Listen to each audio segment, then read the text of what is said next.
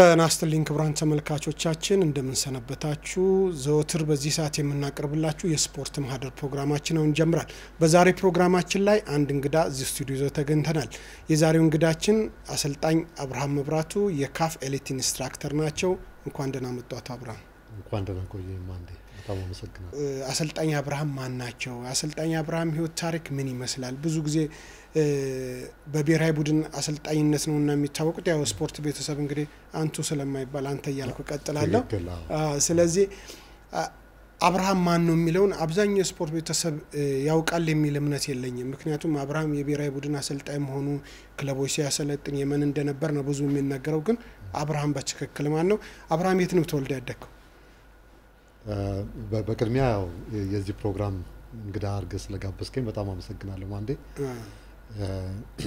እንግዲህ ያው አብርሃም መብራቱ እባላለሁ። የተወለድኩት እዚሁ አዲስ አበባ ቄራ አካባቢ ነው።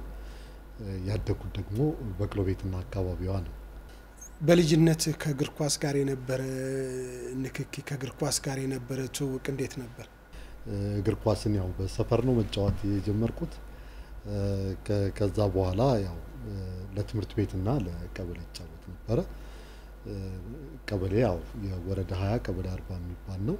በትምህርት ቤት ደግሞ ያው ፈለገ ዮርዳኖስ ጨርቆስ አካባቢ ያለ ትምህርት ቤት ነው።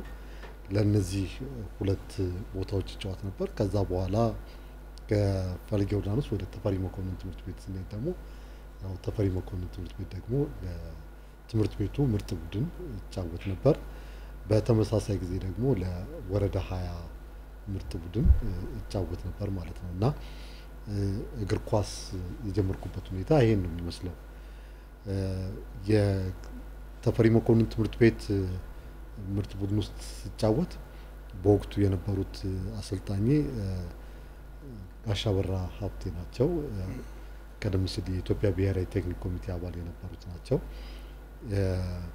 ወደ ወረዳና ዞን ደግሞ ሲጫወት የቅዱስ ጊዮርጊስ ቡድን አምበል እና አሰልጣኝ ሆኖ የሰራው ሰለሞን መኮንን ሊቾ ነበረ እና ከወረዳ ሀያ ምርጥ ውስጥ የዛን ጊዜ ሁለተኛ ዲቪዚዮን ውስጥ እነ ፔፕሲ እነ ቄራ ነበሩ ታስታውስ እንደሆነ እና የቄራ ቡድን አልማዝዬ ሜዳ ላይ ነው training የሚያደርጉት እና የዛን ጊዜ ጌታቸው ጨቡድ የሚባል የቄራ ቡድን አሰልጣኝ ለአዲሱ season ተጫዋቾችን ሲመርጥ ለቄራ ቡድን የመመረጥ እድል አጋጠመኝ። ቄራ ውስጥ ሙከራ ላይ እየተጫወትን እያለን ጨቡድ በወቅቱ የነበረውን የምድር ጦርን አሰልጣኝ ይግባባው ስለነበረ ተጫዋቾችን ለማየት ለመሞከር የወዳጅነት ጨዋታ አልማዝዬ ሜዳ ላይ ስናደርግ ለምድር ጦር ይጫወት የነበረ አሁን በሕይወት የለም ነፍሱ ይማረው ሽመልስ ጀቤሳ የሚባል ተከላካይ ጋር ተጋጨን። በዛው ያው እግሬ ላይ በደረሰ ጉዳት ከመጫወቱ ዓለም ተገለልኩ ማለት ነው። አብርሃም መብራቱ ያው በተለይ በሰማኒያዎቹ አካባቢ በጣም የምትታወቀው ስታዲየም መድረኮችን በመምራት የተጫዋቾችን አሰላለፍ በመግለጽ አሁን ወንድም ምስጌ ተረክቦታል እና ያን ጊዜ የነበረ ቆይታ ምናልባት ያ ቆይታ ወደ እግር ኳስ አሰልጣኝነቱ በቅርብ ሁሉ ነገር ስለምትመለከት በጣም የነበረ ስሜት ላይ እንደ ቤንዚል ጨምሮታል ማለት ይቻላል። በጣም ትክክል። ምንድን ነው መሰለ የሆነ ማንዴ የ- የወረዳን ሀያ ምርጥ ቡድን ሳሰለጥን ስልጠናውን የምንሰጥበት ቦታ አንዳንድ ጊዜ አልማዝዬ ሜዳ ላይ ነው። አንዳንድ ጊዜ ደግሞ 35 ሜዳ የሚባል አለ ወደ መስቀል ፍላወር አካባቢ እና እዛ ቦታ ስሰራ የእርሻ ሰብል C ቡድን ደግሞ ወንደሰን የሚባል የሚያሰለጥነው ነበረ። የዛን ጊዜ እነ ዳግም እነ ወንደሰን ስለሺ ወንደሰን ስለሺ የእርሻ ሰብል C ቡድን አሰልጣኝ ነበር እና ለስራ ጉዳይ ወደ ክፍለ ሀገር ሲሄድ የእርሻ ሰብል ሲ ቡድንን የሚያሰለጥን ቡድን ጠፋ። ከዛ ወረዳውን እያሰለጠንኩ ሲሆን እንዳሰለጥን ወረዳ ውስጥ ሳሰለጥን የሚያዩኝ ሰዎች ግን እርሻ ሰብል የኮሚቴ አባል የነበሩ ሰዎች ሲ ቡድኑ እንዳሰለጥን ፈቀዱልኝ ማለት ነው። እና ወደ መጨረሻዎቹ አካባቢ ነው የተፈቀደልኝ እና እንደ አጋጣሚ ሆኖ እዛ ውስጥ አንዋር ያሲን አለ፣ ዳግም አለ፣ ተከተል ወርጌቹ አሉ። እነዚህ አሁን ትልልቅ የሚባሉ ተጫዋቾች የዛ ቡድን አባላት ናቸው። ሌሎችም አሁን ስማቸውን ያላስታወስኳቸው ግን ትልቅ ደረጃ ላይ የደረሱ ልጆች አሉ። ደን እነሱን ሳሰለጥን ወንደሰን ወደ ክፍለ ሀገር ሲሄድ ኃላፊነቱን ወሰድኩና ከመብራት ኃይል ሲ ቡድን ጋር አዲስ አበባ ስቴዲየም ተጫወትን። ዋንጫ አገኘ፣ የታዳጊዎች ዋንጫ ማለት ነው። እና የዛኑ አመት ደግሞ ወረዳውም የዞን ሁለት ምርጥ ቡድን ዋንጫ ተሸላሚ ሆነ። በአንድ አመት ማለት ነው። በአንድ አመት ውስጥ ሁለቱ ዋንጫ አገኘው ማለት ነው። ግን ያቺ ለኮቺንግ በጣም በር ከፈተልኝ ማለት ነው። የበለጠ የልብ ልብ እንዲሰማኝ ያደረገ ማለት ነው። ከዛ በኋላ ምንድን ነው የሆነው? የጋሻ በራ የአዲስ አበባ ትምህርት ቤቶች ምርጥ ቡድን ሲካሄድ ውድድሮችን እየሄድን እንድንመለከት ጋበዘን ማለት ነው። ጋሻ በራ ግርማ ስራትም እንደዚሁ እዛ ውስጥ ይጋብዙኛል። ለምን በትምህርት ቤት ያቁኝ ስለነበረ ተፈሪ መኮንን ደን እየዞርን ስንመለከት የውድድሩ የፍጻሜ ፕሮግራም አዲስ አበባ ስቴዲየም የዛን ጊዜ ፕሮግራሙን የሚመራ ሰው አልነበረም። ስለዚህ ያንን ፕሮግራም ጨዋታውን እንደ ቴክኒክ ኮሚቴ አባሉን እየተከታተልኩ እንደገና ደግሞ በማስተዋወቁ ስራ ገባው ማለት ነው። ስለዚህ ለመጀመሪያ ጊዜ አዲስ አበባ ስቴዲየም ውስጥ ማይክ ይዤ የማስተዋወቅ ፕሮግራም የሰራሁት የአዲስ አበባ ትምህርት ቤቶች ውድድር ላይ ነው። እዛ ላይ ደግሞ የተመለከቱ የኢትዮጵያ ትምህርት ሚኒስቴር አባላት ደግሞ የአዲስ አበባውን ልክ እንደሰራሁት የኢትዮጵያ ትምህርት ቤቶችን ሻምፒዮና ፕሮግራም እንድመራ ጋበዙ። ስለዚህ የኢትዮጵያ ትምህርት ቤቶችን ውድድር እዚሁ አዲስ አበባ ላይ መራው።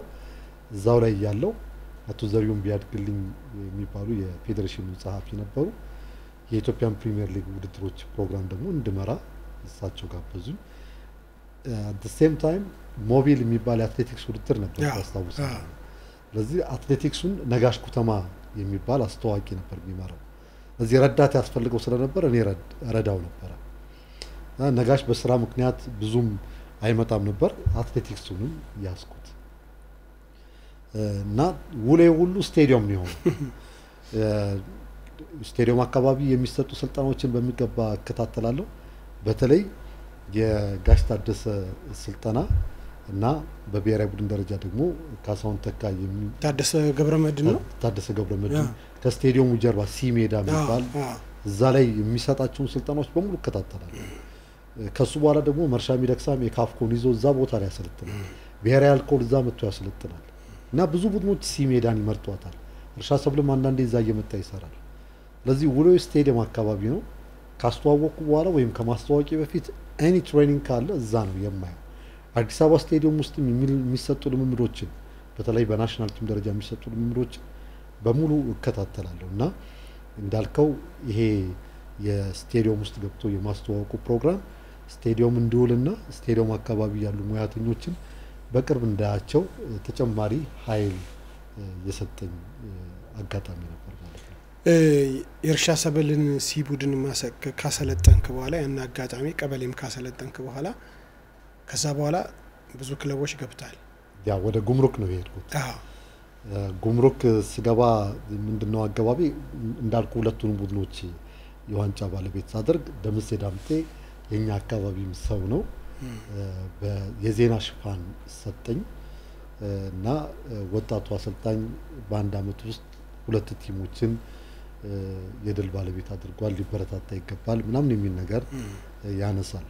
ከዛ የሁለተኛ ደረጃ አሰልጣኝነት ኮርስ እንደወስድ I was very young ጊዜ መጀመሪያ ኮርስም አልወሰድክም? ኮርስም አልወሰድኩም። በማየት ብቻ? አዎ በማየት ብቻ።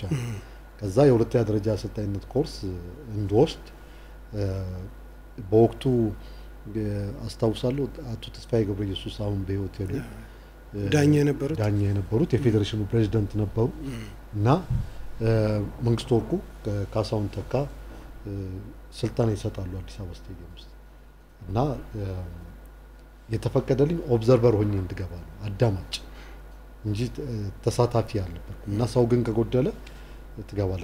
በኋላ ግን ገብቼ የነበረኝን ተሳትፎ የነበረኝን እንቅስቃሴ ሲመለከቱ በጣም ጥሩ ነበረ። ያው ሰርቲፊኬቱ ተሰጠኝ። በዛኑ አመት ጃን ሜዳ ላይ ይሰጥ የነበረውን የስድስት ወር የአሰልጣኝነት ኮርስ እንድካፈል ተፈቀደልኝ። እና ዶክተር መኮንን ጀማነ እንድገባ ፈቀዱልኝ። ስድስት ወሩን የዛን ጊዜ ወሰድኩኝ ማለት ነው። እና ያኔ በጣም እኔ ትንሽ ነኝ፣ ግን ትልልቅ አሰልጣኞች የሚካፈሉበት ማዕከል ነው የነበረው የጃን ሜዳ የእግር ኳስ ማሰልጠኛ ኢንስቲትዩት። እግር ኳስ ብቻ ሳይሆን ሌሎች ከእግር ኳሱ ጋር የተያያዙ ትምህርቶች ለስድስት ወር የተሰጠበት ትልቁ በእግር ኳስ ትልቁን እውቀት ያገኘሁበት ጊዜ የዛን ጊዜ sport psychology ነበር፣ methodology ነበር፣ pedagogy ነበር፣ sport medicine እነ ዶክተር አያሉ ይሰጡ ነበረ እና በጣም እግር ኳሱን ደግሞ እነ ጋሻ አባይነህ እነ ዶክተር ተስፋዬ የሚሰጡበት ትምህርት ነበር። እዛ ውስጥ ገባው። እዛ ጋር ያስመዘገብኩት ውጤትም ጥሩ ስለነበረ የጉምሩክ አሰልጣኝ ሉል ሰገድ የሚባል ነበረ። የስፖርት ኮሚሽን ሰራተኛ ነበረ እና እንደ አጋጣሚ ሆኖ ደንብ ወጣ። ምንድን ነው ደንቡ የወጣው? የስፖርት ኮሚሽን ሰራተኞች ሌላ ክለብ ገብተው የመስራት እድል ሊሰጣቸው አይገባም፣ ክልክል ነው ተባለ። ለዚህ እኔ ምክትል አሰልጣኝ ሆኜ አልነበር የምሰራው የሉል ሰገድ ዋና ሆኜ የሰራው ማለት ነው። ዋና ሆኜ የሰራው በዛኑ አመት ጉምሩክ እንግዲህ ታስታውሰዋለህ፣ አንድም ጊዜ ሳንሸነፍ ወደ ወደ ከፍተኛው የአዲስ አበባ ሊግ ገባን እና ለየት የሚያደርገው የዛን ጊዜ ያለምንም ክፍያ ወይም ደግሞ ስምንት ወር ሰባት ወር እየተጠበቀ በምትሰጥ ትንሽዬ ድጎማ ነበር የሰራ ነው እና ጉምሩክ በአሰልጣኝነት ከእርሻ ሰብልና ከወረዳው በተጨማሪ ከህዝብ ጋር በጣም ያስተዋውቀኝ ክለብ ነው። የዛን ጊዜ ደግሞ እነ ዛሀብ፣ እነ አንዱ አለም፣ እነ ሾሬ ቆጬ፣ እነ ኪሮስ፣ ምናምን የነበሩበት ነው እና ኳስን ደግሞ በሚገባ መስርቶ በመጫወትም ይታወቅ ነበረ እና ጉምሩክ ማሰልጠን ጀምሬ ውጤታማም ሆኜ በአጋጣሚ ያው ድርጅቱ በነበረው የፋይናንስ ችግር ምክንያት ፈረሰ፣ አቁምኩኝ ማለት ነው። ከዛ እንደወጣውኝ የተለያዩ ክለቦች ጠየቁኝ፣ ቅድም እንዳልከው ማለት ነው። መድን፣ ኒያላ እና አግሮ ኢንዱስትሪ እዛ እንዲይዝ ጠየቁኝ። ግን የዛን ጊዜ ለመማር የነበረ ፍላጎት ትልቅ ነበረ። ቡና ስዩም አባተ ነበር የሚያሰለጥነው እና አንደኛ ሜዳ ላይ የሚሰራቸው ቲሞች በጣም ስሜቴን ይገዙት ነበር። ሁለተኛ ከሱ ስር ብሰለጥንና ብማር የበለጠ ጥሩ አሰልጣኝ ሊሆን እንደምችል አወቅኩኝ። ስለዚህ ሌላ ቦታ ዋና ሆኜ ከምሰራ ቡና ውስጥ ብሰራ ጥሩ ነው። ሁለት ጥቅም ነው ያለው። አንደኛ ያው አንተ እየከፈልክ እንኳን ትማራለህ አይደለም፣ ግን እየተከፈለኝ ብማር ምንም አይደለም። ለዚህ ረዳት ሆኜ የስዩም ረዳት የስዩም ረዳት ሆኜ ሰራው እና በአጋጣሚ ከስዩም ጋር እኔ ጉምሩክን ይዤ እሱ ኒያላን ይዘው ተገናኝተን ነበረ።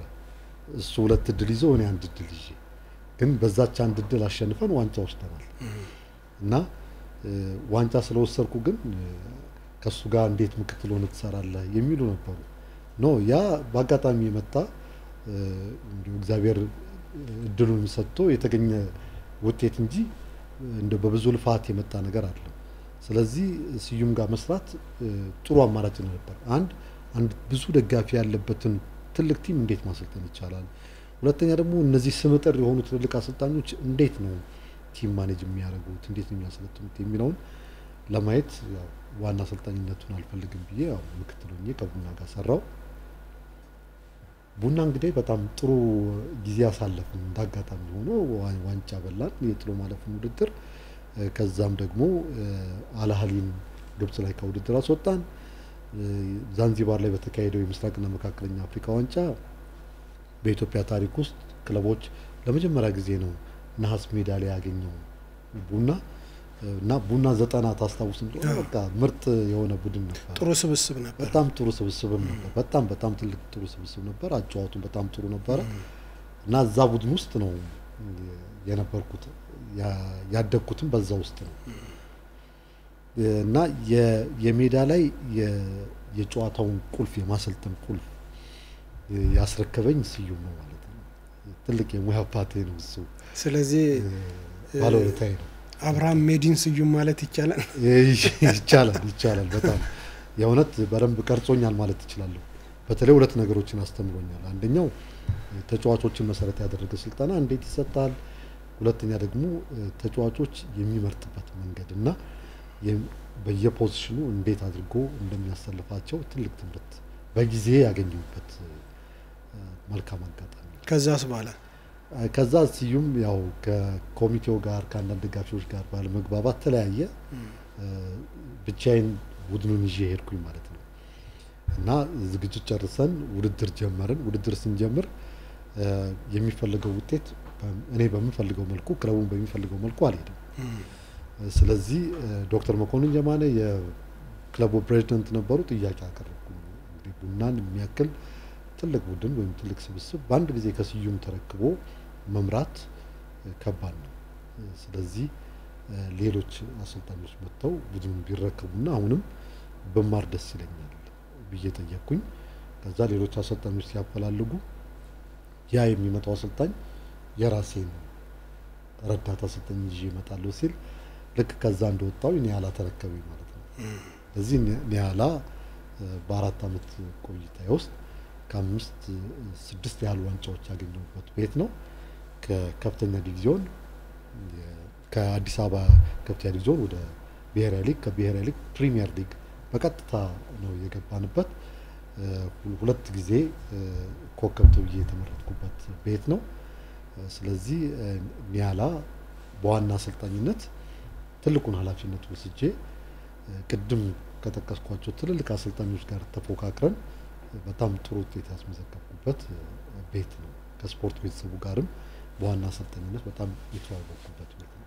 ወደ ወንጂም ገብተን አዎ ኒያላ እንግዲህ ፕሪሚየር ሊግ ውስጥ ቆየ። ከዛ በኋላ አንድ አስገዳጅ ነጥብ መጣ። ቲሙ በጣም ኳስ ይጫወታል፣ ጥሩ ነው። ያው የተሰጠንም ኃላፊነት ፕሪሚየር ሊግ ውስጥ ማቆየት ነው። ከዛ በኋላ ግን ብዙ ብር እየከፈልን ዋንጫ የግድ ማግኘት አለብን የሚል በቃ በስሜት የተነሳሳ ኃላፊነት ተሰጠ። እኔ ደግሞ ነው አልኩ። ምክንያቱም በስምምነታችን መሰረት በመጀመሪያው ዓመት ፕሪሚየር ሊግ ውስጥ ማቆየት ነው። በሚቀጥለው ጠንካራ ተፎካካሪ ሆኖ ደረጃ ውስጥ መክተት ነው። ከዛ በኋላ ለዋንጫ ልንሄድ እንችላለን እንጂ አሁን ለዋንጫ አንችልም። ስለዚህ ያ ካልሆነ ዋንጫ በማምጣት የሚታወቁ አሰልጣኞች ክለቡን እየፈለጉ ስለሆነ እነሱ ልንቀጥር ነው አሉ። በጣም አመሰግናለሁ ብዬ ያው በጨዋነት ነው የተለያየ ነው። ከዛ ወደ ወንጂ ሄድኩኝ። ወንጂ በዛው በገባሁበት አመት ወደ ፕሪሚየር ሊጉ ሲገባ ኒያላ ደግሞ ወረደ፣ ተላለፍን ማለት ነው እና ወንጂ ደግሞ ያው ፕሪሚየር ሊግ ውስጥ ቆየ። ጥሩ ጊዜ ነው ያሳለፍነው። በጣም በጣም ወርቃማ ጊዜ ነው ያሳለፍነው ወንጂ ውስጥ እና ሌሎች ስራዎችም የሰራሁበት ጊዜ ነው ወንጂ። የዛን ጊዜ ምንድነው ወንጂ የራሱ የሆነ ኢትዮጵያ ውስጥ የራሱ የሆነ ስቴዲየም ያለው ብቸኛ ክለብ ነው እና ብሔራዊ ቴክኒክ ኮሚቴ ውስጥ ሰራ ስለነበር የዛን ጊዜ አንድ መጠይቅ መጣ። ካፍ ነው የላከው። በሀገራችሁ የራሳቸው ክለብ የራሳቸው ሜዳ ያላቸው ክለቦች ስም ዝርዝር ላኩ ተባለ ሲባል የእኔ ክለብ አንዱ ስለዚህ ካፍ ውስጥ ማስመዝገብ ሜዳ ስለዚህ ተመዘገበ ማለት ነው።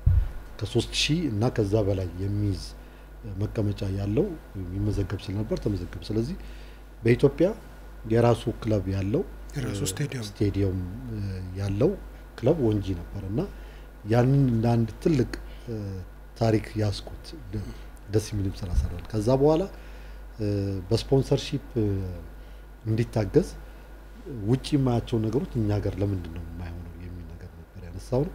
ስለዚህ ስቴዲየሙ ፓውዛ እንዲገባለት እና የማታ ጨዋታዎች እንዲደረጉ ሲመንስ ከሚባል company ጋር ተነጋገርኩ። አቶ ሳሙኤል ይባላሉ ስራ አስኪያጁ። ከዛ እሳቸው ደግሞ ከወንጂ ፋብሪካ ጋር ጥሩ ግንኙነትም ነበራቸው እና በቢዝነስም ቀጣይ ስራዎችን ለመስራት ፍላጎት ስለነበራቸው ስፖርት ክለቡ ለአንድ አመት በሲመንስ ስፖንሰር ተደረገ። ማሊያዎቹ፣ ቱታዎቹ በሙሉ ከውጭ ነበር የሚመጡት እና ሲመንስ ሞባይል ነበር ታስታውስ እና ከመቶ ሀምሳ በላይ ሞባይሎችን በነፃ ለወንጂና አካባቢዋ የሰጠበት ጊዜ ነው። ያኔ ስፖርተኞች በሙሉ ሲመንስ የምትል ትንሽዬ ሞባይል ነበራቸው እና ከቴክኖሎጂው ጋር በጣም የተዋወቅንበት ክለብ ነው። በአጋጣሚ ሆኖ ያው ከዛ ክለብ ወጣሁኝ።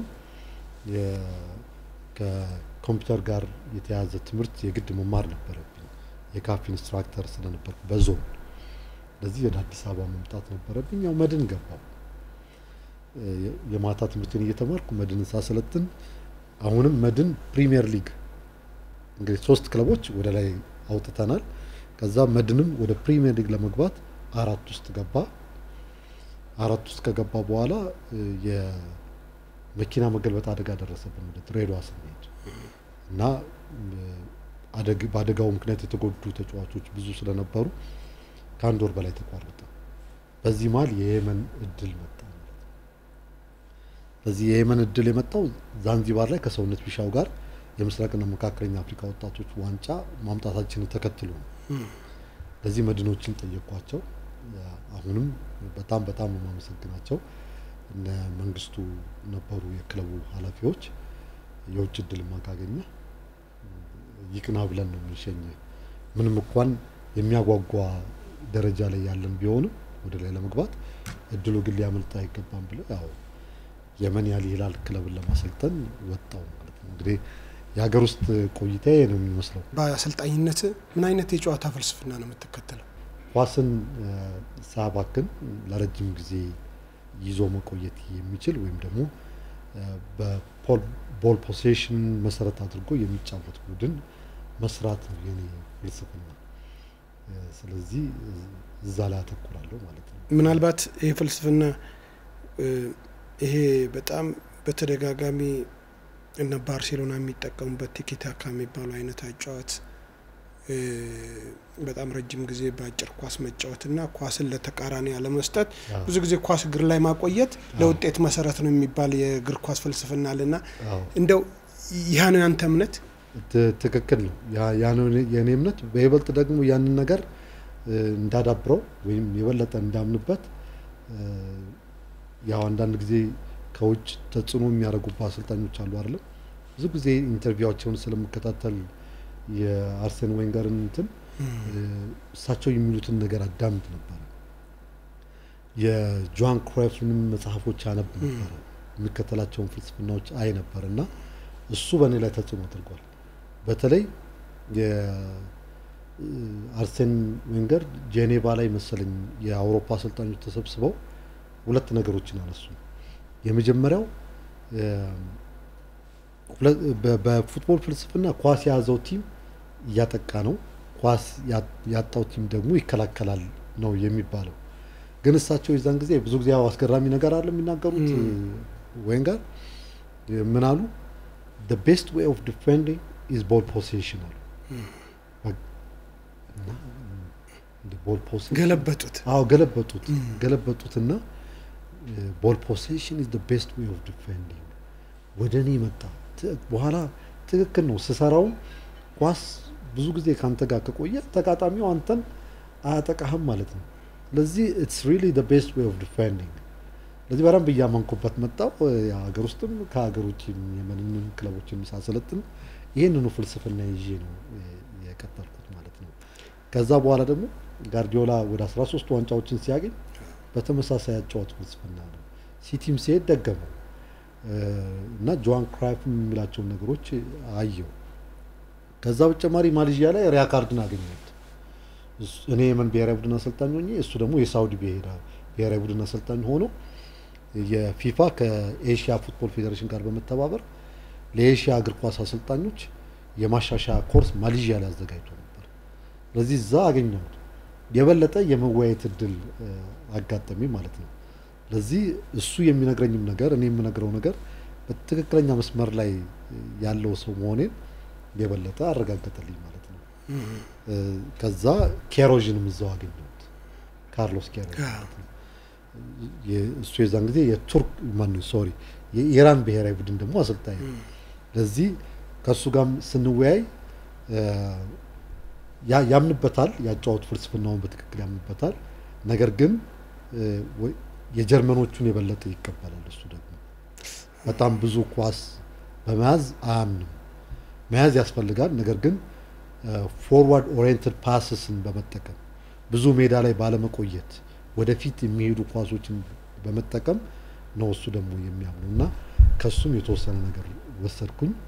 ከዛ የመንን ሳሰለጥን በቅርብ የማማክረው እሱን ነበረ ካርሎስ ነበር። እሱም ፊልሞችን እያየ ይህን ብታረግ ይህን ብታረግ ይል ነበር እና ያንን ያጨዋወት ፍልስፍናዬን እንዳለቅ ወይም እያጠናከርኩት እንዲሄድ እነዚህ ሰዎች ትልቅ አስተዋጽኦ የመን ላይ እንደው በነበርክበት ጊዜ የተሳካ ጊዜን አሳልፈሃል? በሁሉም መልኩ የተሳካ ጊዜ አሳልፍ ያለው ብዬ ያስባለሁ። የመን በህይወት ተሞክሮም በስልጠናም ጥሩ ጊዜ አሳልፍ ያለው ብዬ አስባለሁ እና ያው እንደምታውቀው እንደሄድኩኝ የአልሂላል ክለብን ነው ያስለጠንኩት። እዛ ሲሄድ ያው ብርሃኑ ቃሲም የክለቡ ኮከብ ግብ አግቢ ነበር ከዚህ ሄዱ። ለዚህ እንደሄድኩኝ አልተቸገርኩም። የብርሃኑ እዛ መኖር ኢብራሂም ሰይድ እዛ መኖር ቡና ተጫዋች የነበረው ከዛ በኋላ ደግሞ የሀይደር መንሱር መምጣት ቡድኔን በምፈልገው መልኩ እንድሰራው አድርጎኛል። ከዛ የኤሽያ ሻምፒዮና ውስጥ የጥሎ ማለፉ ሻምፒዮና ስለሆንን የኤሽያ ውድድር ላይ ስንገባ ብዙ ጊዜ ምንድን ነው የሆነው ማንዴ የአልሂላል ክለብ ኤሽያ ሻምፒዮና ይሳተፋል፣ ግን ሁሉንም ጨዋታዎች እየተሸነፈ ይወጣል። ስለዚህ ስንሄድ እንደ አጋጣሚ ሆኖ አንድ አሸንፈን አንድ አቻ ወጥተን ሁለት ግን ተሸንፈናል። ያ ውጤት ግን እንደ ትልቅ ነገር ተወሰደ። ከሁሉም በላይ ደግሞ ቡድኑ የተከተለው አጫወት ተወደሰ እና እዛ የበለጠ ብዙ ስራዎችን እንድሰራ አጋጣሚው ጥሩ ነበረ። ከዛ ምንድን ነው የሆነው ያው የኢንስትራክተርነት ማዕረግም ስለነበረኝ ከማሰልጠን ውጭ ሁለት ሰዓት ነው የምታሰለጥነው ከሀገር ውጭ ሌላውን ሀያ ሁለት ሰዓት ዝም ብለህ ነው የምታጠፈው። ስለዚህ ለምን ይሆናል ላልኩና ሆዴዳ የምትባል ከተማ ናት። ያቺን አካባቢ የሚያሰለጥኑ ታዳጊ ህጻናትና ወጣቶች የሚያሰለጥኑ አሰልጣኞች ሰብስቤ ኮርስ ሰጠው። ህጻናቶችንም መርዳት ጀመርኩ እና ጥሩ ውጤት አመጣ ማለት ነው። ፕሮጀክት ቀርጬ እዛ ማሰልጠን ጀመርኩ። ከዛ ቡድኑ የያዘው አጫወት ያስመዘገበው ውጤት እንደገና ደግሞ የምሰራቸው የልማት ስራዎች ተቀባይነትን አገኙ። የአልሂላል ክለብ ባለቤቱ ኦነሩ የየመን እግር ኳስ ፌዴሬሽን ፕሬዚዳንት ናቸው። አሁንም እሳቸው ናቸው። ሼህ አህመድ አለይሲ ይባላሉ። ስለዚህ ይሄ የምሰራው ስራ ለሆዴዳና አካባቢው ብቻ ሳይሆን ለሀገርም ስለሚጠቅም ወደ ብሔራዊ ፌዴሬሽኑ እንድትመጣ እዛ ሄድኩኝ። እዛ ሲሄድ የኦሎምፒክ ቡድኑን እንዳሰለጥን ነው ኦሎምፒክ ቡድኑን ሳሰለጥን ኦሎምፒክ ቡድኑም እንደ ወትሮ የመጀመሪያውን step ብዙ ጊዜ አያልፍም። ግን እንደ አጋጣሚ የመጀመሪያውን ሁለተኛውን step አለፍንና ሶስተኛው ላይ አውስትራሊያ ነው የደረሰን። በዚህ አውስትራሊያ ወደ ሀገር ቤት መጣ ለመጫወት አልቻለችም። ምክንያቱም የመን ውስጥ የእርስ በርስ የተጀመረበት ጊዜ ስለነበር፣ ለዚህ አውስትራሊያ ሄደን አንዱን ጨዋታ ሲድኒ፣ አንዱን ጨዋታ ሜልበርን እዛው አደረግን። ሁለቱንም ጨዋታ ተሸነፍን። ከዛ በኋላ ግን አሁንም ቲሙ የነበረው መልካም ነገር ጥሩ ስለነበረ ኦሎምፒኩን እንድቀጥል ወሰኑ። ኦሎምፒኩን እያሰለጠንኩኝ ምንድን ነው የሆነው ፊፋ circular ላከ ለሁሉም አባል ሀገሮች። የላከው circular ምንድን ነው? ቴክኒክ ዳይሬክተር መቅጠር ግዴታ ነው የሚል። ስለዚህ የቴክኒክ ዳይሬክተር ለመቅጠር ሲፈልጉ አላገኙም የሚስማማቸውን ሰው።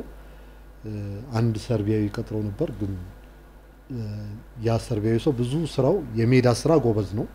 ነገር ግን communication ላይ፣ ሌሎች የቢሮ ስራዎች ላይ፣ ከኮምፒውተር ጋር የተያዙ ስራዎች ላይ ብዙም ውጤታማ ስለነበር ደርቤ እንድሰራ ፈቀደ። ፊፋም ፈቀደ ማለት ነው። የእግር ኳስ ፌዴሬሽኑ ፈቀደ። ስለዚህ ቴክኒክ ዳይሬክተርነቱንም የኦሎምፒክ አሰልጣኝነትንም ሰራውኝ። ከዛ ኦሎምፒኩን ሳሰራ ለመጀመሪያ ጊዜ በታሪክ ማለት ነው ኦማን ላይ ለተደረገው የኤሽያ ሻምፒዮና ኦሎምፒክ ቡድኑ አለፈ። ስለዚህ በቃ ተጫዋቾችን እያዘጋጀው መስጠት ሆነ ማለት ነው።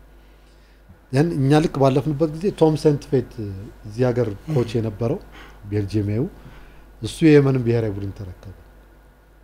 አስራ ሶስት የሚሆኑ ተጫዋቾችን ከኔ ወሰደና እኔ ደግሞ የእሱ ረዳት ሆኜ እንድሰራ ተደረገ ማለት ነው። እና የገልፍ ውድድር የሚባል አለ፣ የካሌጂ ውድድር የሚባል እሱን ባህሬን ላይ ተካፈልን። ውጤቱ ጥሩ ስላልነበረ ቶሎ ጥሎ ሄደ። ከዛ በኋላ ሌላ የአውሮፓ coach ተቀጠረ። ለዛ የአውሮፓ coach እንደ አማካሪነት ስራ ጀመረ። ከዛ ጦርነቱ እየተባባሰ ሲሄድ የአውሮፓ coach መምጣት አልቻለም። team ኡን እኔ እንዲይዝ ብሔራዊ ቡድኑን እኔ እንዲይዝ ተደረገ። ሲይዝ የመጀመሪያው ጨዋታ የ play off ነው። እሱን ከወጣን ምንም ውድድር ውስጥ ነው። ማልዲቭስን ሜዳዋ ላይም ከሜዳ ውጭ ማሸነፍ ስለዚህ ሜዳችን ደግሞ የነበረው የት ነው? ኳታር ነው። ያለ ተመልካች ነው የምንጫወተው። ስለዚህ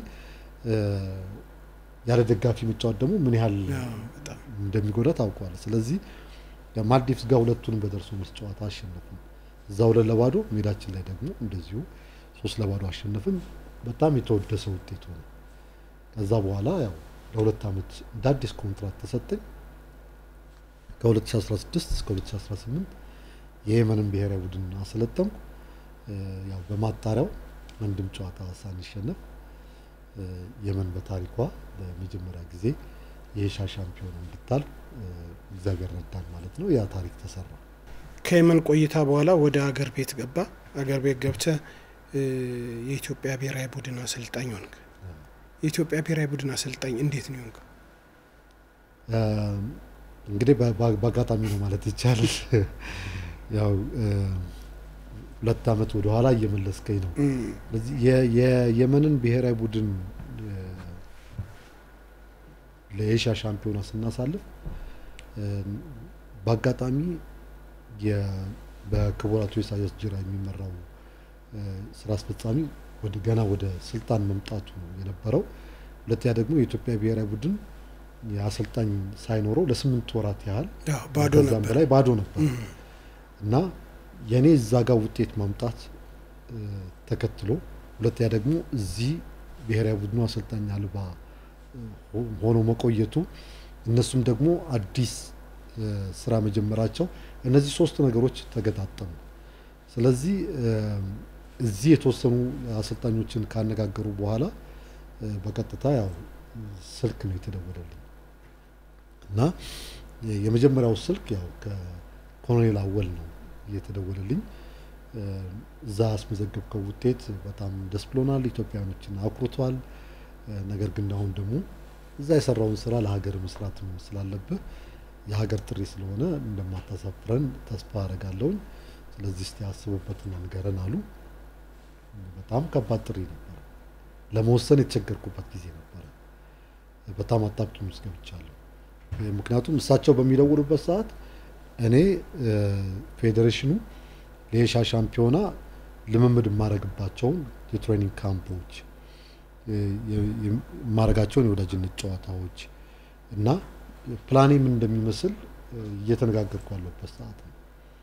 በዚህ በኩል እየተዘጋጀው ነው፣ በዚህ በኩል ሌላ ጥሪ አለ እና እንደዚህ አይነት ጥሪ ቀርቦልኛል ብዬ ዶክተር ሀሚድ ይባላሉ። ለሳቸው ዋና ጸሐፊ ናቸው። ለሳቸው ጥያቄን አቀረቡ እና የኳታር እግር ኳስ ፌዴሬሽን የመንን እንደ ሞግዚት ይንከባከባት ስለነበረ የየመን ጊዜያዊ እግር ኳስ ፌዴሬሽን ጽሕፈት ቤትም ኳታር ነው የነበረው። ስለዚህ በቅርብ እሳቸውን ማግኘት ችል ነበረ እና በቴክኒክ ዳይሬክተርነትም እዛው አግዛቸው ስለነበር ጥያቄውን አቀረብኩላቸው። ነው አሉ ቡድኑን አሳልፈ አሁን ለማን ነው የምንሰጠው? በዛ ላይ እቅድህን አቅርበ ሰጥተሃል። ይህን እቅድ ማን ነው የሚያስፈጽመው? የሀገር ጥሪ ሆኑ። አሁንም እነ ኮሎኔል እነ ኢሳያስ ጁራ ያው ይደውላሉ በተደጋጋሚ ማለት ነው። ከዛ በዚህ መሀል እነ ጋሽ አቤም አበበ ገላጋይ ማለት ነው ያው ከታች ጀምሮ ኢንስትራክተርም እንደሆን ከነ መንግስቱ ከነ ካሳሁን ጋር እጄን ጎትቶ ያስተዋወቀኝም ሰው ስለሆነ አቤ ስፖርቱ ላይ ብዙ ነው ስፖርት ውስጥ ብዙ ቆይቷል እና ያው እንደ እንደ ልጁ ነው የሚያኝና በቃ የምልህን ስማ እነ ኮሎኔል የሚሉትን አዳምጥ አለኝ። ሌሎች የስራ አስፈጻሚ ኮሚቴ አባላትም ዮሴፍ ተስፋዬ እነ ሰውነት ቢሻው ያው በስልክ ተገናኘን። ን በቃ ፍላጎቱ እየጨመረ የመጣው ስለዚህ እዚህ ደግሞ የሀገር ጥሪ መቀበል በጣም አስፈላጊ ነው ብዬ አመንኩበት። ከዛ የየመን አምባሳደር በወቅቱ እዛ የነበሩት ክቡር አምባሳደር መታሰቢያ ታደሰ የፌዴሬሽኑ ዋና ጸሐፊ አነጋገሯቸው እና አንድ ጥያቄ ነው የጠየቋቸው።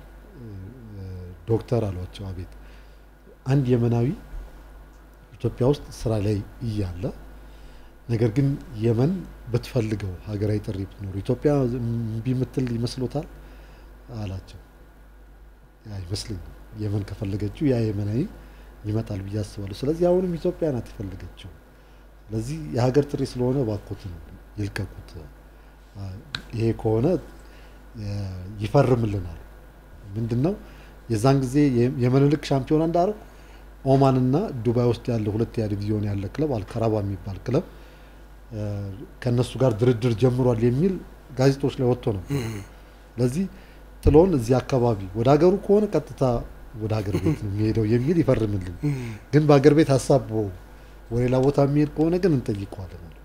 ስለዚህ እሱም ፈረምኩላቸው፣ ተስማማን። ያው ወደ ሀገር ቤት መጣው። ሁለት ዓመት እንግዲህ ቆየሁኝ ማለት ነው። ስለዚህ አመጣጤ ይሄን ነበር የሚመስለው። በብሔራዊ ቡድን ኢትዮጵያ ብሔራዊ ቡድን ስትረከብ እንደው ተጫዋቾቹን አጠቃላይ የፌዴሬሽኑ እገዛ እንዳለው ነው። ያው ባለቤት ስለሆነ ፌዴሬሽኑ ግን ተጫዋቾቹን ምክንያቱም አንተ ቀጥታ ከየመን የመጣኸው ተጫዋቾቹ ምን ደረጃ ላይ እንዳሉም አታውቅም። ግን ብሔራዊ ቡድኑን ለማሰልጠን የምትረከበው እና ካመራረጡ ተጫዋቾቹን ብቃት እንዴት አየው? እንደው እንደጠበቅከው አግኝተዋል? እውነት ለመናገር ያው እንደጠበቅኩት አላገኘሁትም። ያም challenge እንደሚኖር አውቄ ነው የመጣሁት። ያው አንዱ እንግዲህ የአሰልጣኝ መለኪያው challenge ኦችን መቋቋም ነው አይደለም እንዴ ማንዴ። ስለዚህ አንዱ challenge እሱ እንደሆነ በደንብ አውቄዋለሁ፣ ገብቶኛል። እና ስመጣ በአንድ ነገር ላይ እርግጠኛ ነበርኩኝ። ኢትዮጵያ ውስጥ ያሉ የሙያ ጓደኞቼ ምርጫው ላይ ሊያግዙኝ እንደሚችሉ እርግጠኛ ነበርኩ። ስለዚህ ያው ጥንቃቄ በተሞላበት መልኩ ረዳቶቼን መምረጡ ላይ ጊዜ ወሰደብኝ። ስለዚህ ምንድን ነው ያደረግኩት? በአንድ በኩል ወጣቶች ሆነው ነገ የሀገራችንን በሚገባ ማገልገል የሚችሉ ወጣት አሰልጣኞችን ማዘጋጀት፣ በሌላ በኩል ደግሞ የሊግ ውስጥ ወይም ደግሞ ብሔራዊ ቡድን ውስጥ በመጫወት ረጅም ልምድ ያላቸውን ሰዎች ረዳት ማድረግ ይሻላል የሚል ውሳኔ ወሰንኩ እና ታስታውስ እንደሆነ ፋሲለውን እና ሙሌን ወሰድኩ። ሙሉጌታ ምህረት እና ፋሲል ተካልኝ። እነዚህ ሁለት ልጆች ብሔራዊ ቡድን በመጫወት ረጅም ጊዜ ያሳለፉ ናቸው። በስነ ምግባራቸው በጣም የተወደዱ ናቸው። ሁለተኛ ደግሞ የአሰልጣኝነት ኮርስ እዚህ ስሰጥ የ C የ B A license ም ስሰጥ በክፍል ውስጥ የነበራቸው ተሳትፎ ለመማር ያላቸው ፍላጎት በጣም ከፍተኛ ነው እና በቅርብ አውቃቸዋለሁ እና የኢትዮጵያን እግር ኳስ ከእኔ የተሻለ የተረዱት ልጆች ስለሆኑ እነሱን በቅርብ በመያዝ ከዛም በኋላ ወደ አምስት የሚሆኑ አሰልጣኞችን ያው አማክሬ ነበረ እና በዚህ አጋጣሚ በጣም ማመሰግናቸው ናቸው። አሰልጣኝ ዮሐንስ ሳሌ፣ ገብረመድህን ውበቱ፣ ስዩም በወቅቱ ከረዱኝ ሰዎች መካከል ናቸው። እና ከእነሱ ጋር ተባብረን ያው ሰላሳ ሶስት ተጫዋቾችን መረጥኩ ከዛ በኋላ ግን ስራው የኔና የረዳቶች የነበር የሚሆነው እና ለአንድ ወር ያህል ተዘጋጅተን ያው ሌሴቶን ቡድን ይቅርታ የሴራሊዮን ቡድን ሀዋሳ ላይ በማሸነፍ ነበር የጀመርነው። ከዛ በኋላ ብዙም ሳንቆይ አሁንም ቡድኑን ሳናጠናቀው ብዙም ሳንቆይ ባህር ዳር ላይ ኬንያን ነው ያገኘ ነው። በጣም ከረካሁባቸው ጨዋታዎች አንዱ ነው። ፍጹም የጨዋታ የበላይነት ኖረውን ብዙ የግብ ሙከራዎችን ሞክረን ግን ውጤቱ እምቢ ብሎን ዜሮ ለዜሮ የወጣንበት ነው። እዛ ላይ የነበሩትን ጠንካራ ደካማ ጎኖች ማሻሻል የምንችልበት እድል ሳይኖረን ፊክስቸሩ በሶስት ቀን ልዩነት ያው ናይሮቢ ሄድን። በሁለት ዓመት ቆይታዬ ካረካሁባቸው ጨዋታዎች አንዱ እሱ ነው። ሶስት ለባዶ የተሸነፍንበት ጨዋታ። ከዛ በኋላ ግን ቡድን በአንዴ ስለማይገነባ ያው በሂደት ሊጉንም እየተከታተልኩ ተጫዋቾችንም እያየው በተለይ እኔ ለምፈልገው ያጫወት ፍልስፍና ሊሆኑ የሚችሉ ልጆችን በቅርብ እየተመለከትኩኝ ቲሙ በደንብ እየተገነባ እየተገነባ ሄደ።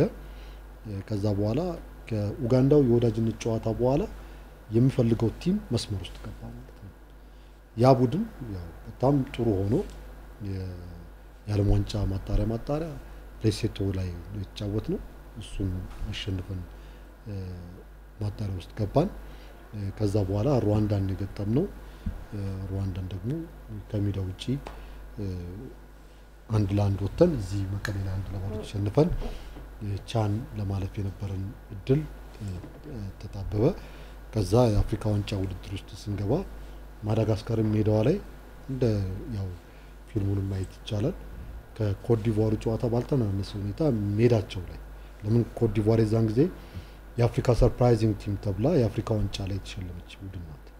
2019 የአፍሪካ ዋንጫ ላይ ለዚህ ጠንካራ ቡድን ይዘው እንደሚገቡ እናውቅ ነበረ። ግን የያዝነው አጫወት የተጫዋቾቻችን የስነ ልቦና ዝግጅት በጣም ጥሩ ስለነበር team ኡም በደንብ እየተገነባ ስለሄደ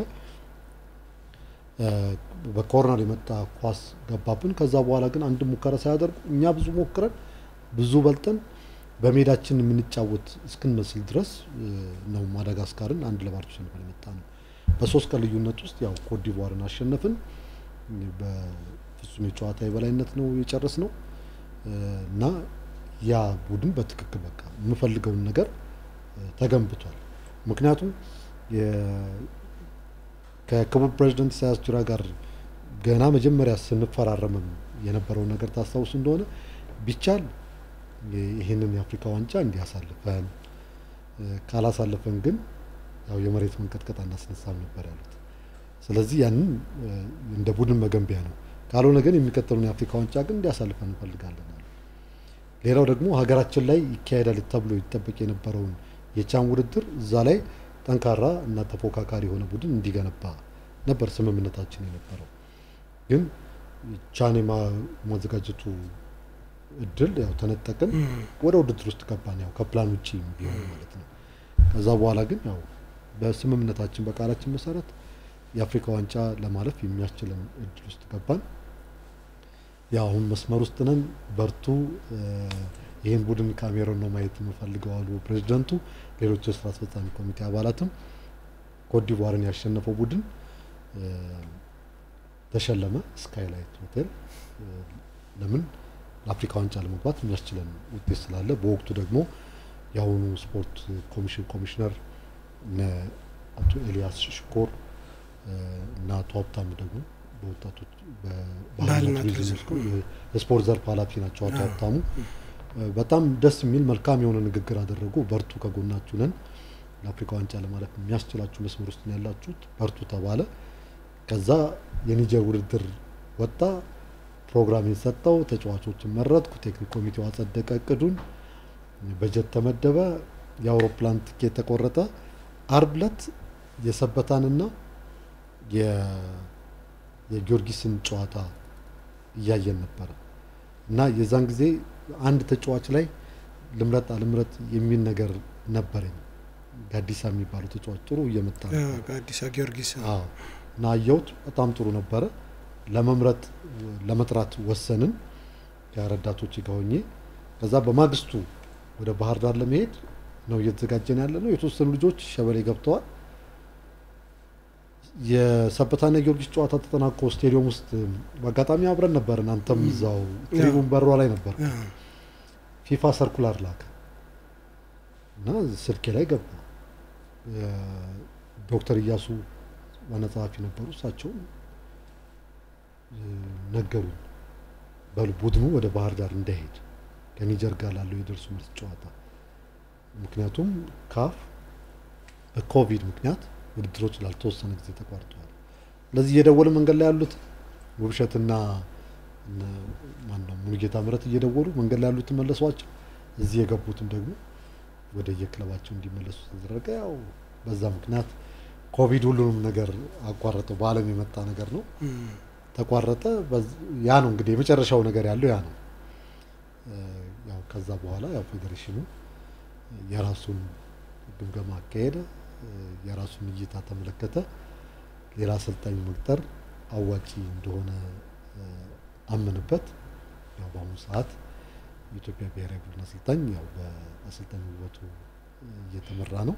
ቴክኒክ ኮሚቴ አለ። እንደው በአሰልጣኝነት ጊዜ በጣም አግዘውሃል ማለት አግዘውሃል ማለት ብዙ ጊዜ ይደረግ ነበር ግምገማ ብሔራዊ ቡድን ተጫውቶ ግምገማ ይደረጋል። official የሆነ አሰልጣኞች ባሉበት ጋዜጣ ግምገማ እየተደረገ ደካማና ጠንካራ ጎኑ እየተነቀሰ እየወጣ ለሚቀጥለው ጨዋታ እንዲጠነክር ልክ አሰልጣኝ ሰውነት ቢሻው በነበረበት ዋና አሰልጣኝ በነበረበት ጊዜ እንደዚህ በየጊዜው ግምገማ ስለነበረ ቡድኑ ስህተቱን እያረመ እያረመ እያረመ ሄደበት። እንደው በዚህ በኩል ያንተስ ቡድን ምን ደረጃ ላይ ነበር? ትክክል። ቡድኑን ያው እንደተመለከትከው ነው። በየጊዜው ስህተቱን እያረመ እያረመ ነው የሄደው። ይሄ ደግሞ ብቻዬን የሆነ ነገር አይደለም። ከረዳቶች ጋር ከተጫዋቾች ጋር እየተመካከርን የተሰራ ስራ ነው። ከዛ በተጨማሪ ደግሞ በኢንስትራክተር ሰውነት ቢሻው የሚመራው የቴክኒክ ቡድን አብረን መስራት ከጀመርንበት ጊዜ ጀምሮ ሁለት ጊዜ ግምገማ ተካሂዷል። አንደኛው ቡድኑ ባህር ዳር በነበረበት ጊዜ ዶክተር ሲራክ እና ሰለሞን አባተ መጥተው ሙሉ ግምገማ አድርገናል። ሁለተኛው ደግሞ እዚህ አዲስ አበባ ስቴዲየም ባለው የመሰብሰቢያ አዳራሽ ውስጥ በቪዲዮ እና በዳታ የታገዘ ግምገማ ተካሂዷል። ከዛ በኋላ ቡድኑ በጣም ከፍተኛ የሆነ መሻሻል እያሳየ ነው የመጣው። የእነሱም ሪፖርት የሚያሳዩ ይሄ ነው። ስለዚህ በቅርብ እንገናኝ ነበር ማለት ነው። መቀሌ ላይም በነበረው ልምምድና ጨዋታ ላይ ጸጋዬ ደስታ መጥቶ ይከታተል ነበረ። ስለዚህ በሄድንባቸው ቦታዎች ሁሉ በምናደርጋቸው ልምምዶች በሙሉ አንደኛ ፕላኑ ስራ ላይ ከመዋሉ በፊት ያው እነሱ ይመለከቱታል፣ አስተያየት ካላቸው ይሰጣሉ። ሁለተኛ ደግሞ በየልምምዱና በየጨዋታው የታያቸውን ነገር ይሰራሉ። ከዚህ በተጨማሪ ለስራዬ ትልቁን እገዛ ይሰጠኝ የነበረው ምንድን ነው ዘመናዊውን የጨዋታ ግምገማ ሂደት ፌዴሬሽን ውስጥ ማስረጽ እፈልግ ስለነበረ በቪዲዮ የተደገፉ ግምገማዎች ነበሩ እና ብሔራዊ ቡድኑ video analyst ነበሩ ታስታውሱ። ያ ለመጀመሪያ ጊዜ ነው በኢትዮጵያ ታሪክ ውስጥ እና ኤልሻዳይ ባኬማ የሚባለው ልጅ በጣም ጎበዝ ነው። እሱ ያንን ነገር ያደርግ ነበር። በዚህ አጋጣሚ ትልቅ ምስጋና ላይ ለሱ በራሱ initiative በነፃ ነበር አገልግሎት የሚሰጠን እና እነዛ document ኦች ይሰራሉ። አሁን በዚህ በ elite instructor ነት አገር ውስጥ ብዙ አሰልጣኞችንም የማሰልጠን እድሉን አግኝተሃል እና አሁን አንተ በቲዮሪ ያሰለጠንካቸው ወይም ደግሞ በተግባር እዛ ሜዳ ላይ ካሳየው አንጻር እንደው አሰልጣኞቻችን ላይ ያ የሚጠበቀውን የስልጠናውን ያህል ውጤት እየተገኘ ነው ወይ?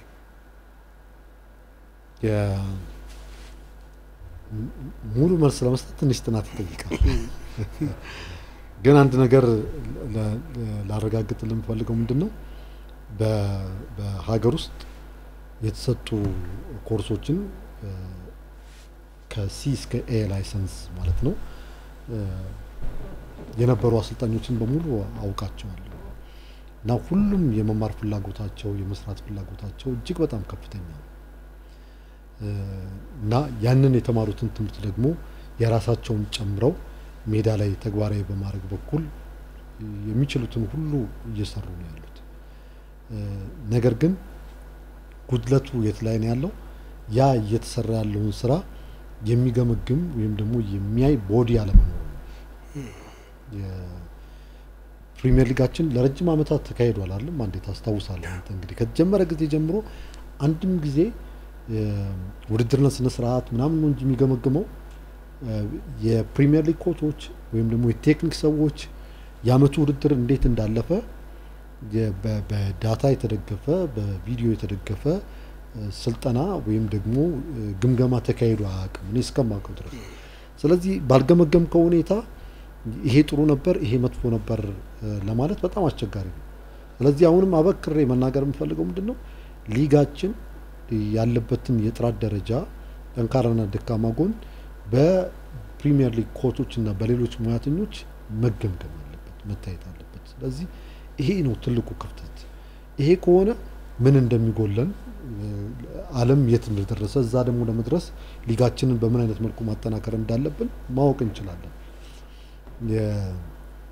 በእኔ በኩል ምንድነው ብሔራዊ ቡድኑን ከመገንባት አንጻር ሊጉ ጠንካራ መሆን ስላለበት ግብአት ማሰባሰብ አስፈላጊ መሆን እንዳለበት ስለማምን ታስታውስ እንደሆነ የሶስት ቀን ሴሚናር አዘጋጅቼ ነበረ።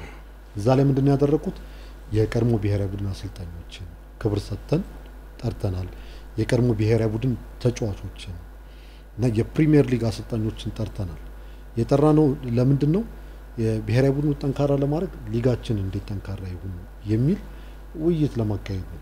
ግን ያንን የወሰድኩትን initiative ማስቀጠሉ ላይ አልሄድንበትም ብዙ።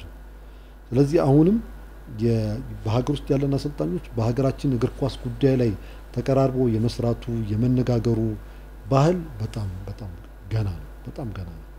የየመንን ተሞክሮ ልንገር፣ ሊጉ እንዳለቀ የመጀመሪያው ስራ ሊጉ እንዴት እንደነበረ አሰልጣኞች ለሁለት ቀን ያህል ይጨፋጨፋሉ። በደንብ ይሰራሉ፣ በደንብ ይነጋገራሉ። የውጭ በረኛ ወደ ሀገር ውስጥ እንዳይገባ ትልቁን ግምገማ ያደረጉት ትልቁን ውሳኔ ያስወሰኑት የፕሪሚየር ሊግ ኮቾች ናቸው። no የሀገራችን ግብ ጠባቂዎች እድል ማግኘት አለባቸው፣ አለበለዚያ ብሔራዊ ቡድናችን ስለሚጎዳ የውጭ ተጫዋቾች ይምጡ፣ ነገር ግን የውጭ በረኛ ግን እንዳይመጣ። ሁለተኛ ደግሞ የውጭ ተጫዋቾችም የሚመጡ ከሆነ three plus one ይሁን ነው የተባለው። የ three plus one ምን ማለት ነው?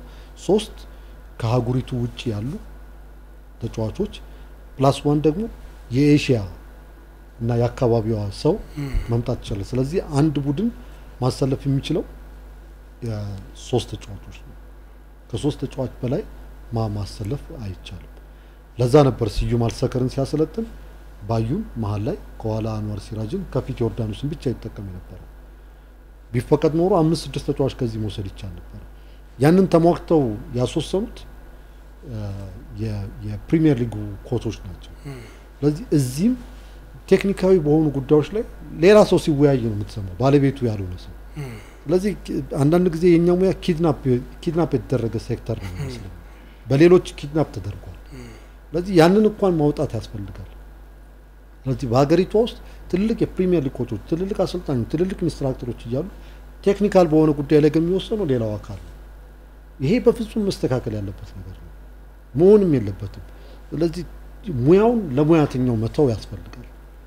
ስለዚህ ይህንን ማድረግ ይጠበቅብናል እና ይሄ ከሆነ ጥሩ ነው። ሌላው የፊፋና የካፍን ኮርስ ብቻ እየጠበቅን የአሰልጣኞቻችንን የብቃት ደረጃ ማሻሻል ዘበት ነው። በእርግጥ በራሳቸው ጥረት ኢንተርኔት browse አድርገው ራሳቸው ለማሳደግ የሚታገሉ ብዙ አሉ። እኔ ጋር የሚመጡ ብዙ አሰልጣኞች አሉ። coach ይህን አስበናል ምናምን የሚሉ አሉ። እነሱን አደንቃለሁ። ግን እንደ እንደ ሀገር ደግሞ እንደ ብሔራዊ ፌዴሬሽን ከውጭ ሙያተኞችን መጋበዝ እዚህ ያሉትን ሙያተኞች በማስተባበር እርስ በርስ የልምድ ልውውጥ ማድረግ የሚቻልበት መንገድ፣ ትምህርቶች የሚሰጡበትን መንገድ መፈለግ ያስፈልጋል እና አሁን last week አንድ አሰልጣኝ ያለኝን ልንገር። ፕሪሚየር ሊግ coach ነው። coach ስልጠና ከወሰድን almost አራት አመት ሞላ። ስለዚህ እግር ኳሱ ባይሻሻል እንዴት ይፈረድብናል ብሎ ነው የጠየቀው። ስለዚህ football ኡ ግን አሁን በአራት ዓመት አይደለም በየዘጠናው ደቂቃ እየተቀያየረ ነው። dynamic ነው በጣም ጄራርዱዬ የተናገረው ይሄን ነው። football እንዳለፈው በየሶስት ወሩ በየአመቱ አይደለም የሚቀያየረው፣ በየዘጠናው ደቂቃ ይቀያየራል። በስፖርቱ ላይ ቢስተካከል የምትለው እንደው እግር ኳሱ ላይ ይሄ እንደዚህ እንደዚህ ችግሮች አሉ፣ እነዚህም ብናስተካክል ወደፊት ለኢትዮጵያ እግር ኳስ መፍትሄ ሊሆን ይችላል የምትለው መልእክትና ምናልባትም የምታመሰግነው ለዚህ ደረጃ መድረስ ሰዎች ካሉ በሱ እናጠቃል። በጣም አመሰግናለሁ። አንዴ እንግዲህ ሶስት ነገሮችን ማንሳት እፈልጋለሁ። በጣም ሰፊም ቢሆን አጭር አጭር ለማድረግ ልሞክር።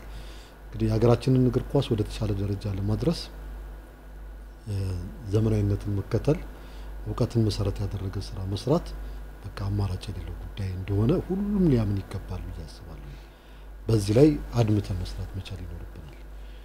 ዘመናዊነትን ደግሞ እንከተል ከተባለ እውቀትን መሰረት ያደረገ ስራ እንስራ ከተባለ ደግሞ ከግራስሩት ጀምሮ መስራት ይኖርብናል። ስለዚህ ያው በተደጋጋሚ ከታች ጀምረን መስራት አለብን፣ ከታች ጀምረን መስራት አለብን እየተባለ ይወራል አይደለም። ስለዚህ እሱን ወደ ተግባር መቀየር የሚቻልበት መንገድ መመቻቸት ይኖርበታል። ስለዚህ ከታች ለመጀመር ደግሞ ከላይ ያሉትን አመራሮች አመለካከት መቀየር በጣም አስፈላጊ ነው። ይሄ አንዱ ቁልፍ ነገር ነው። ምክንያቱም ከታች ያልተሰራ ስራ ወደ ላይ ሲመጣ አድካሚ ነው የሚሆነው። እዚህ ውስጥ penetrate አድርገን መግባት ይኖርብናል። ሁለተኛው capacity building ላይ መስራት ይኖርብናል። በየጊዜው የሙያ ስልጠና ብቃታችንን ለማሻሻል መስራት መቻል ይኖርብናል። ይሄ ደግሞ በሀገር ውስጥም ከሀገር ውጭ በሚሰጡ ስልጠናዎች ላይ በመሳተፍ ማለት ነው። ይህንን ካላደረግን ቅድም ያልኩን ነው ዘመናዊነትና እውቀትን መሰረት ያደረገ ስራ መስራት አይቻልም።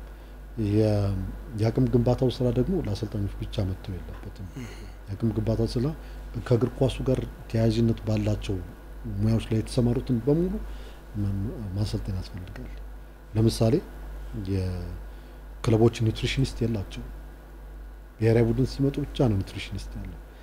ክለብ አካባቢ ያለመደውን የአመጋገብ ስርዓት በአንድ የብሔራዊ ቡድን ውስጥ እንዲለምደው ማድረግ ይቻላል? አይቻልም። እሱ ነው አንዱ ዘመናዊነት። ስለዚህ ክለቦቻችን የራሳቸው የሆነ nutritionist እንዲኖራቸው ማድረግ በጣም በሚሊዮን የሚቆጠር ብር እኮ ይከፍላሉ። ስለዚህ nutritionist ኦችን አሰልጥኖ የራሳቸው nutritionist ቢኖራቸው በትንሽ ገንዘብ ጥሩ ነው።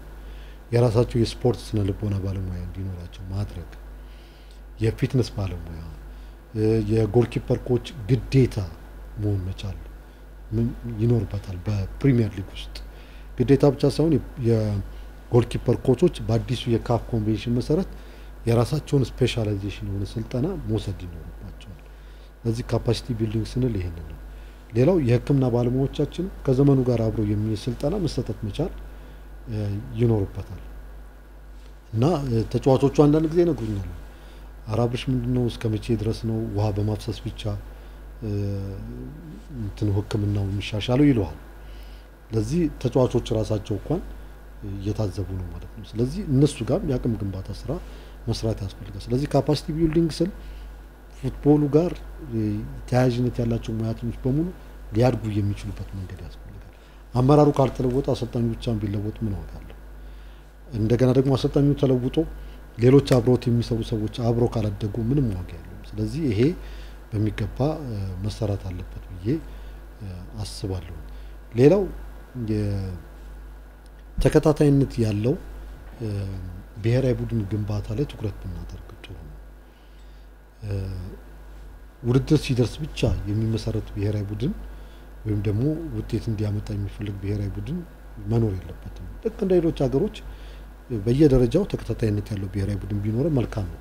ለምሳሌ የታንዛኒያ ላይ የነበረው ታዳጊ ብሔራዊ ቡድን በነ ተመስገን ዳና ነው የሚባለው የሚያሰለጥነው ቡድን ነበር። በጣም ጥሩ ነበር። አሁን እሱ እንደውም አሁን ደቡብ ፖሊስ አሰልጣኝ የሆነው አሁን ደቡብ ፖሊስ ያሰለጠናቸው እሱ አሁን በጣም ጥሩ ጥሩ ቲም ነው የእውነት ለመናገር ከዛም በፊት ደግሞ እና አጥናፉ የያዟቸው ታዳጊ ብሔራዊ ቡድኖች በጣም ጥሩ ናቸው።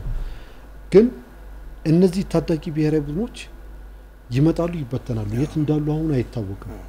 ስለዚህ ተከታታይነት ያለው በእርግጥ ፌዴሬሽናችን የአቅም ችግር እንዳለበት አውቃለሁ፣ የፋይናንስ ግን ይህንን ለማሳካት መንግስትን ስፖንሰሮችን በማስተባበር ተከታታይነት ያለው ስልጠና መስጠት ካልተቻለ በስተቀር በ15 ቀን በ10 ቀን የሚዘጋጅ ቡድን ይዘን ሌሎች የደረሱበት ደረጃ ለመድረስ እንቸገራለን እና በእነዚህ ሶስት ጉዳዮች ላይ ቢሰራ መልካም ነው ላለው። ሌላው ተቀራርበን ተመካክረን መስራት ባህል የበለጠ ብናዳብር ጥሩ ነው። ስፖርት ውስጥ ብዙ ጊዜ የማነሳው ነገር አለ። ባለፈው ክቡር ጠቅላይ ሚኒስትራችንም ያነሱት ነገር አለ። ከኖቤል ሽልማት መልስ ንግግር ሲያደርጉ ያዳመጥኩት ነው እና አንድ ሰው በእድገቱ፣ በጥረቱ፣ በችሎታው መሰላሉን ወደ ላይ እየወጣ እያለ ከኛ የሚጠበቀው መሰላሉን መደገፍ ነው እንዲወጣ ማለት ነው ያንን ሰው። ነገር ግን መሰላሉን የመጎተት ባህል መጥፋት አለበት ብለው ነበር እና ይሄ ንግግራቸው ስፖርት ውስጥ ሰርጾ ቢገባ በጣም ደስ ይለኛል። ከመጠላለፍ ይልቅ መደጋገፉ የተሻለ ደረጃ ላይ ያደርሰናል። ቅንነቱ የተሻለ ደረጃ ላይ ያደርሰናል እና ይሄ ባህል ሀገራችን ላይ የበለጠ ቢለመድ ከንግግር አልፎ ደግሞ የእውነት ብናደርገው መሬት ላይ የወረደ ነገር ብናደርገው እጅግ በጣም ደስ ይለኛል። ይሄ ነው መልእክቴ። ሌላ ያው እዚህ ደረጃ ላይ እንዲደርስ ትልቁን አስተዋጽኦ ያበረከቱትን የሙያ ጓደኞቼን፣ ተጫዋቾቹን፣ የስፖርት ቤተሰቡን፣ አመራሩን፣ እናንተ የሚዲያ አካላትን፣ ራሱ መንግስትን እና ከሀገር ውጭም እየደወሉ በኢሜይል በ text ያበረታቱን የነበሩትን ኢትዮጵያውያን ትውልደ ኢትዮጵያውያን እና የኢትዮጵያ ወዳጆችን በሙሉ በሙሉ በስም መጥራት በጣም ከባድ ስለሆነ ነው። ሁሉንም ማመስገን እፈልጋለሁ። ክቡራን ተመልካቾቻችን የስፖርት ማህደር ፕሮግራማችን ከኢንስትራክተር አብርሃም መብራቱ ጋር ያደረግነው ቆይታ ይህን ይመስል ነበረ። አብርሃም እዚህ ድረስ መጥተ ይህንን የመሰለ የህይወት ታሪክን ተሞክሮ ለሌሎች እንዲጋሩ በማድረግ እጅግ አድርገን እናመሰግናለን። እኔም በጣም አመሰግናለሁ ስለተከታተላችሁን እጅግ አድርገን እናመሰግናለን። መልካም ቆይታ ከቀሪ ፕሮግራሞቻችን ጋር ጤና ይስጥልኝ።